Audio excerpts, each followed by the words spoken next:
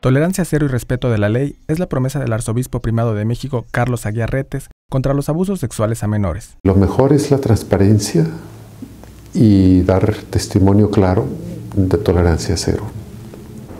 Afrontar las situaciones y conducirnos conforme a la ley para hacer las denuncias. Aprendí que es lo mejor, me queda ya ahora sí plenamente confirmado que no tiene uno que tener miedo de decir lo que pasa, porque eso es lo que más nos va a ayudar a que cada vez sean menos esos casos.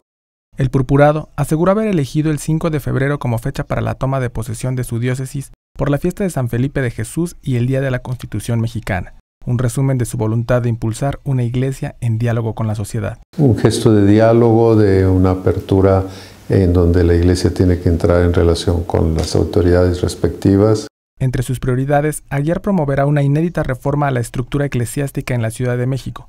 Las parroquias capitalinas serán lentamente sustituidas por unidades pastorales. La propuesta es que estas unidades pastorales ya no cada párroco vive en su parroquia, sino casas comunes sacerdotales. El arte es que cambiemos la mentalidad clerical que está en en el modelo anterior. En los últimos días, Retes tuvo varias reuniones en el Vaticano y sostuvo su primera audiencia privada con el Papa Francisco, ya como primado de México. Con información e imágenes de Andrés Beltramo, corresponsal en el Vaticano, Notimex.